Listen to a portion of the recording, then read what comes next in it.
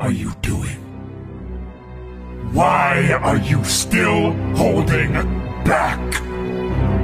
Have you forgotten what they said to us? What they did? They think you're a monster.